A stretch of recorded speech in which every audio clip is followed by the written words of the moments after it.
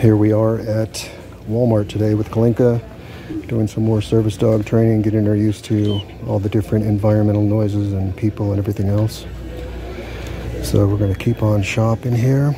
Okay, Kalinka, I'll see. Good girl. And she's getting used to walking next to the cart, so let's try that. Oh, okay, let's go. Come on. Good girl. Right here. Let's go.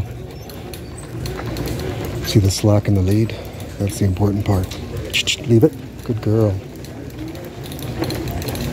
Back here. Good girl.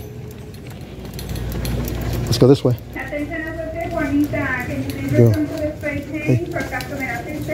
you. OPA. Good girl. Over here. Good girl. I'll see. I'll see. Good girl. Uh uh. Shh. Kalinka. Here. Good girl. Sit. I'll see. Couche. Good girl. Stay. Okay, we are in the section of bones and all this crappy stuff that Walmart sells, which I'm not probably going to buy really any of it. Sometimes I'll buy the rawhide ones that are way down there in the corner.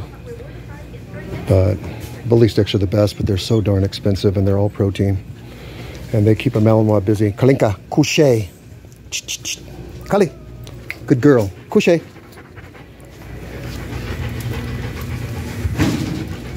Good girl. So, you know, some days she's really on, some days she's not, but this is the, the store training's kind of new for her in the last six weeks. So we'll keep doing it until we get it perfect.